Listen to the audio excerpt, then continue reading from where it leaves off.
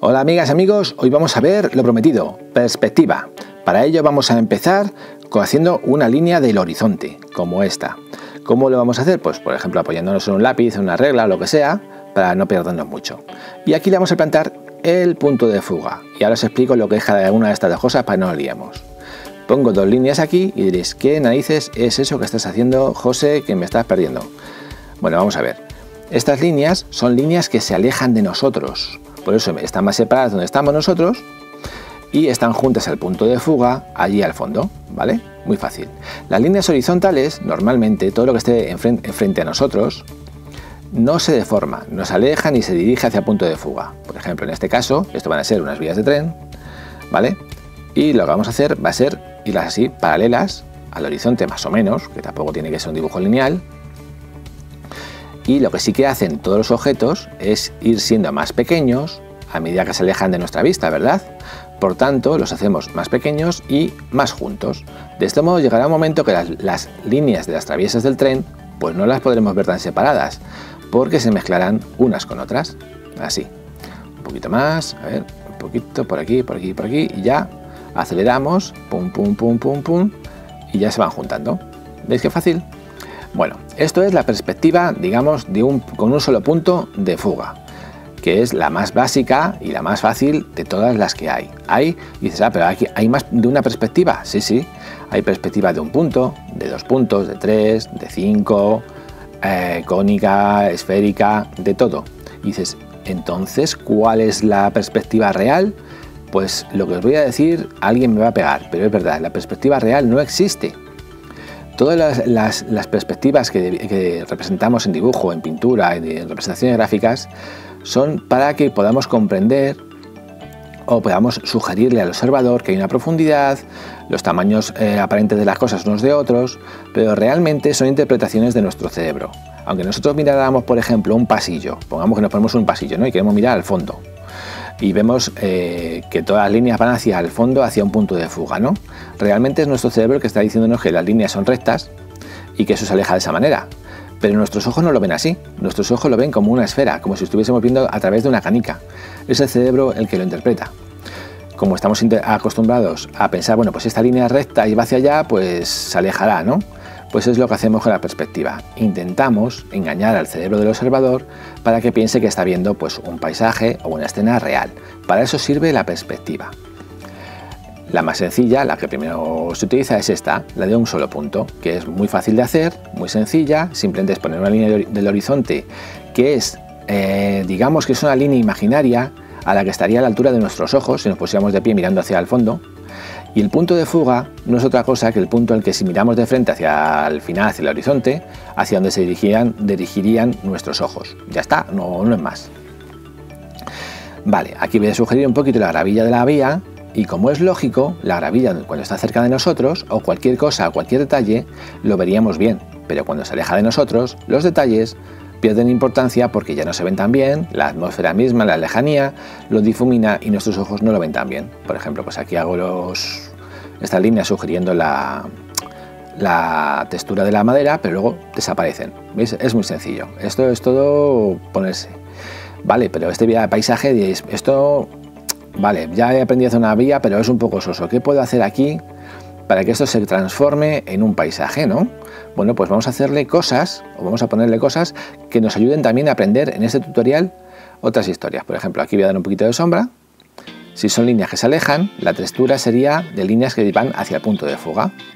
Y si son, por ejemplo, partes del, horizonte, que yo que sé, pues del camino, lo que sea, pues si son en horizontal, la textura tengo que hacerla con líneas más horizontales. Ahora veréis cómo, a qué me refiero pongo aquí, ¿veis? Y sugiero. Sugiero que estos son partes del, terreno. Lo único que este terreno pues está como muy plano, ¿no? Luego, luego lo corregiremos, esto de aquí también. Vale, ¿el horizonte tiene que ser liso? ¿Tiene que ser totalmente horizontal? No, solo se pone así al principio para orientarnos. Por ejemplo, eh, de hecho es que normalmente no vemos una línea, una línea del horizonte a no ser que estemos mirando el océano, ¿vale? Normalmente vemos pues eso, los objetos y tal, como en este caso pues voy a poner al fondo pues unas montañas o voy a sugerir unas montañas. para darles profundidad, lo que hago es que las que están más cerca de nosotros las hago más oscuras para que se vea que tienen un poco más de intensidad y las que están más alejadas las voy a ir haciendo cada vez más claritas. Y voy a romper un poco la línea del horizonte para que deje de ser esta línea mm, irreal y completamente, pues eso, mm, artificial, que no podemos ver en la naturaleza y que realmente no, no existe, ya os digo, a no ser que estéis mirando pues el océano, el mar, ¿de acuerdo?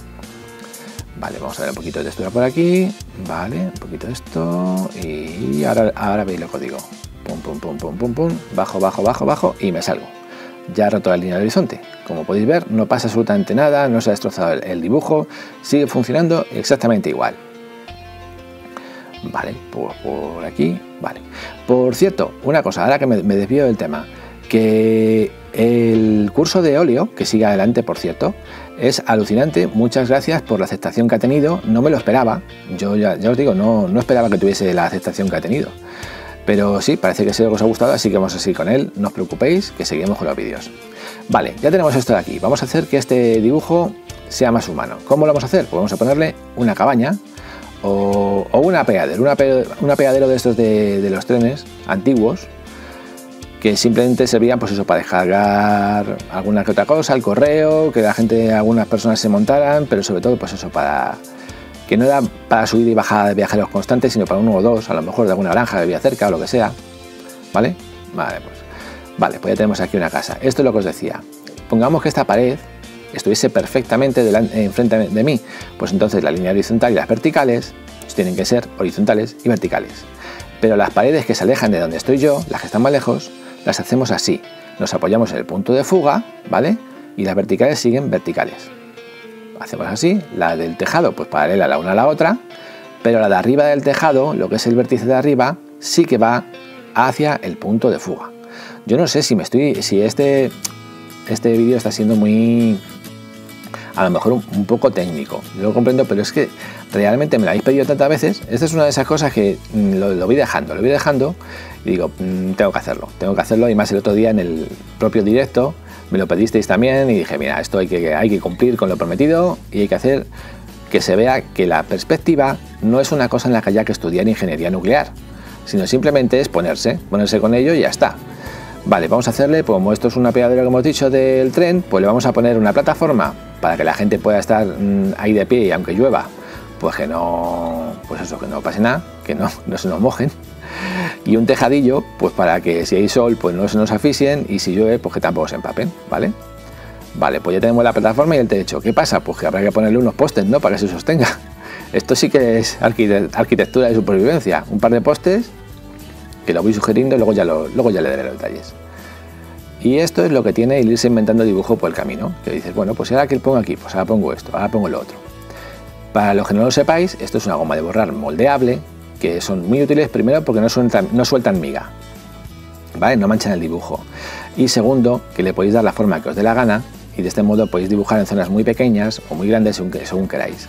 Os sirven también para aclarar zonas, para hacer degradados, va muy bien.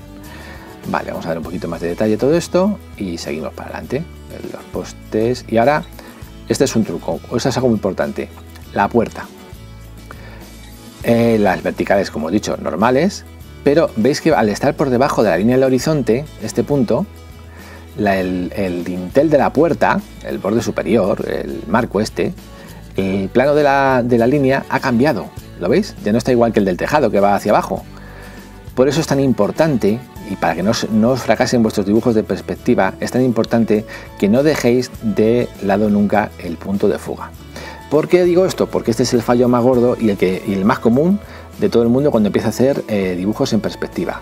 Que llega un momento en que te cansas de seguir el punto de fuga, dejas de, dejas de apoyar ahí la, línea o la regla o lo que tengas para guiarte y al final las líneas no tienen coherencia porque no van hacia el punto de fuga. ¿De acuerdo? Entonces os recomiendo que por lo menos al principio, cuando estéis haciendo vuestros primeros dibujos de perspectiva, utilicéis pues algo. Pues en este caso pues yo estoy utilizando un lápiz pues, porque lo tengo a mano y me parece bien y como el dibujo es pequeñito pues no me hace falta. Si el dibujo fuese más grande pues no me quedaría más narices que utilizar pues una regla poco grande y ya está. Vale, pues muy bien. Esto por aquí y tal. Y esto entra, este dibujo que estoy haciendo este tutorial entra dentro de la serie de los de aprender a pintar desde cero, ya que esto sí que es una cosa que a todos os van a pedir si estáis estudiando lo que sea de dibujo, donde sea, academias, colegios, institutos, lo que sea, la perspectiva es una asignatura que antes o después cae. Y el problema que tiene es que dependiendo de cómo, de cómo os lo, lo vengan a explicar, os gustará, o os parecerá un tostón o directamente os haréis un lío tremendo. Y la perspectiva realmente es muy sencilla, ya lo habéis visto, simplemente es definir a qué altura están nuestros ojos y por tanto ahí tiene que estar el horizonte, la línea horizontal, y cuáles son los puntos de fuga y dónde están. Cuando es un solo punto, pues es la que es esta de aquí, pues la más sencilla. Ya hemos empezado.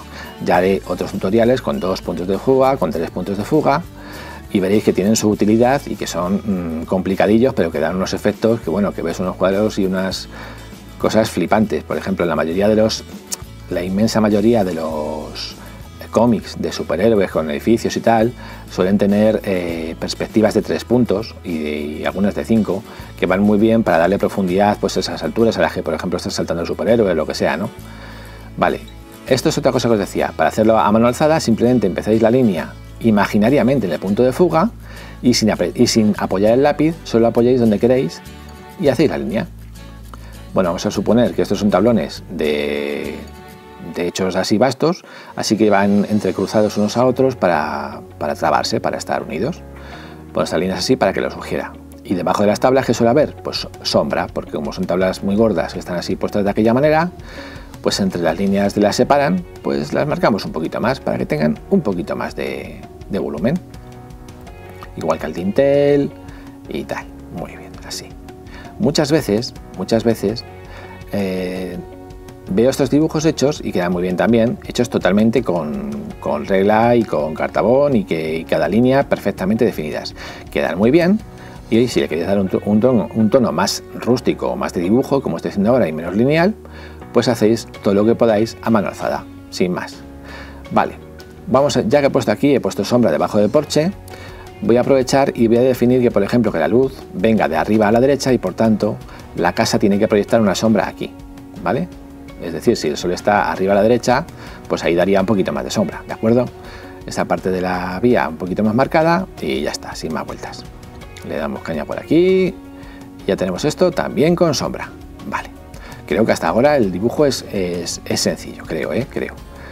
Vamos un poquito tal, vamos a marcar un poco, pero aquí hay una cosa que falla y que no me acaba de convencer ni poco ni mucho. No sé a vosotros qué os parece.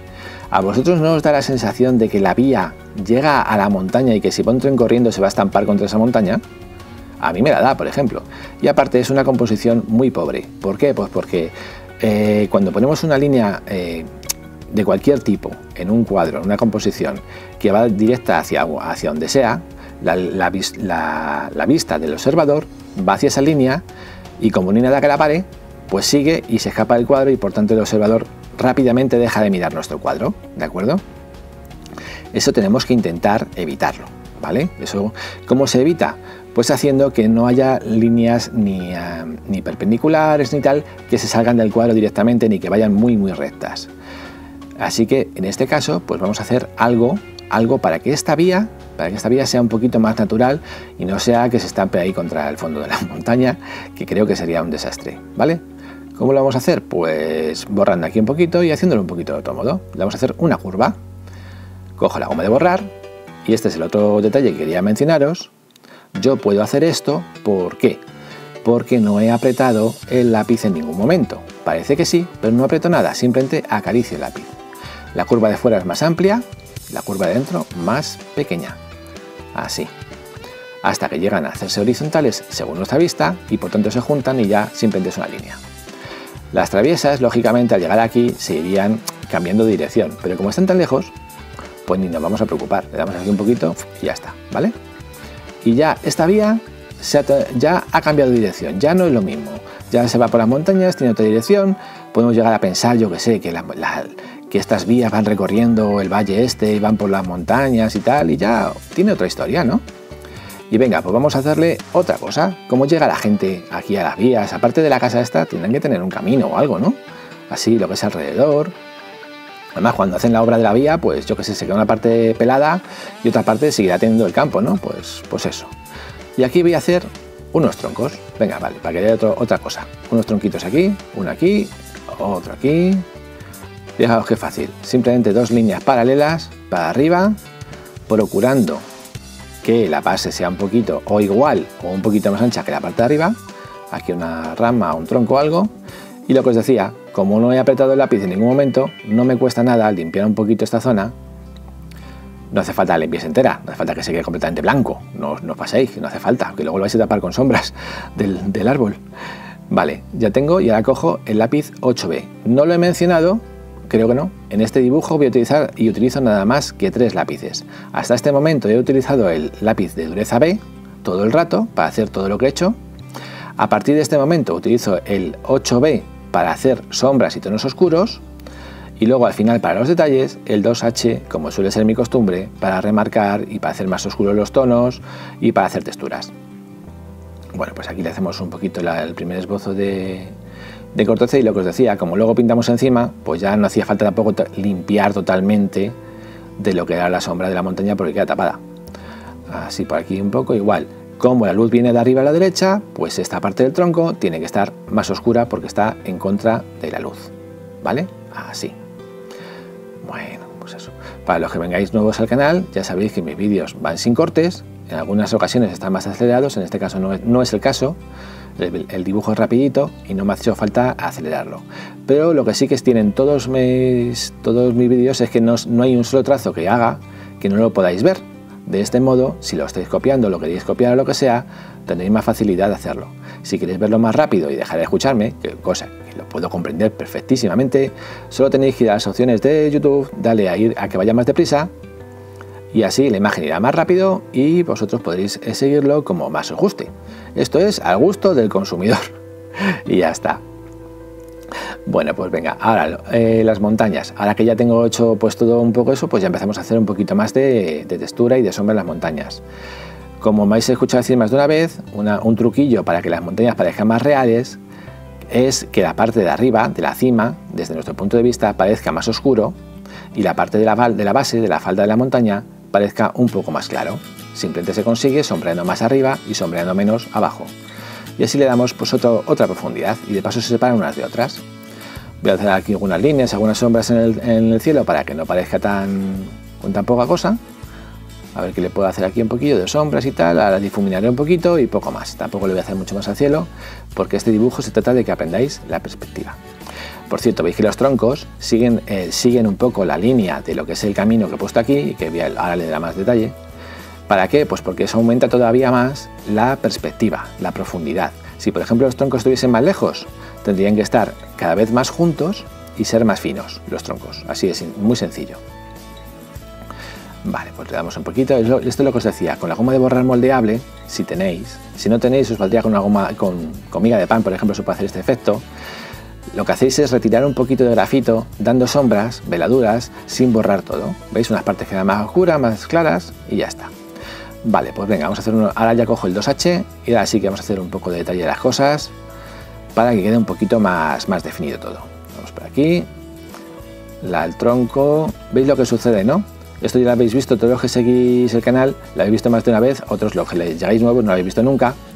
Pero esto es, esto es un clásico. Si tú coges y con un lápiz duro de este, que es un 2H, dibujas encima de algo que has dibujado con un lápiz B, un lápiz blando, los trazos que se consiguen son muy oscuros, porque el 2H, de ser muy duro, machaca las partículas de grafito y las hace aún más oscuras de lo que ya eran. De este modo lográis sombras más profundas, lográis mejores texturas y ahora sí que ya si tenéis que dar texturas ya no os preocupéis de si arañáis el papel o dejéis de arañarlo porque el dibujo ya está hecho y solamente estamos haciendo pues detalles, ¿de acuerdo? Eh, vale, creo que lo he dicho, sí. Por cierto, el curso de óleo sigue, para adelante, ¿eh? no, os penséis que se ha parado o lo que sea, pero voy a, como os dije, voy a alternar eh, dibujos sencillos como este, con el curso para que no se me aburra nadie y para los que queréis simplemente dibujar, que tengáis vuestros motivos de dibujo. Pero el siguiente vídeo que suba va a ser del curso de óleo. Para los que no lo hayáis hecho todavía, que si nuevos en el canal, os recomiendo, os aconsejo encarecidamente que os suscribáis. Y no porque me haga ilusión ni porque tal, sino porque yo intento subir los vídeos con una cierta periodicidad, pero no siempre lo consigo. A esto me refiero que hay veces que subo uno en una semana, otro dos en una semana y a veces no siempre en el mismo día. Entonces si queréis realmente seguir el canal y ver los vídeos que vaya subiendo, os recomiendo que os suscribáis y deis a la campanita para que YouTube os avise cuando subo un vídeo, ya que si no es bastante complicado. Oye, hay, youtubers que de verdad que es que yo me quito el sombrero porque tienen una periodicidad que es que lo hacen de una manera que todo tal día de la semana siempre sacan un vídeo y yo les tengo una envidia. Yo cada vez, es un clásico, siempre que he dicho, a partir de ahora voy a sacar los vídeos tal día de la semana, fijo que ese día me pasa algo y no puedo hacerlo, así que yo ya no me comprometo con nada. yo saco los vídeos siempre que puedo y el que quiera verlos se lo agradezco mucho y fantástico, ya está. Bueno, aquí vamos a hacer un caminito para que esto parezca y así, ¿veis que he puesto un poco de sombra en este lado de la, de la, de la vía? ¿Sabéis para qué hago esto? Para que parezca que está un poco inclinado el terreno aquí. ¿Veis? Parece que hace un poquito de cuesta. Y así no, no está tan plano, que es que parecía que dice, bueno, aquí como llevan cuatro gotas se forma un, lago, porque está todo plano. Pues no, tienes un terreno y partes que están inclinadas y partes que no, porque no existe el campo plano completamente más que en el ordenador. ¿Vale? Y bueno, pues un poquito más, ya simplemente es dar unos detallitos, dar igualdad, el lápiz 2H pues sirve para lo que os he dicho, para todo esto, mm, definir líneas, definir detalles, unificar tonos, de todo. Aquí un poquito de esto, y ahora ya sí, ahora ya sí que esta plataforma, aquí ya sí que da gusto sentarse tranquilamente a ver pasar los trenes. Damos un poquito de detalle a esta parte de aquí. Y bueno, amigas y amigos, pues ya sabéis, cualquier sugerencia de vídeo de tutorial que os haga falta o que os gustaría ver, me la ponéis en la línea de comentarios, que si se puede hacer y, tal, pues se hace. Si no se puede hacer, pues, pues no se hace. Un poquito más de por aquí. Y esto ya, amigos, yo creo que ya, así para aprender a hacer perspectiva en, un punto de fuga, creo que ha valido, ¿no? No sé qué os parece. A ver, un poquito por aquí, que se vean que ahí había dejado yo muy eso y ya está. Venga, hasta el próximo tutorial.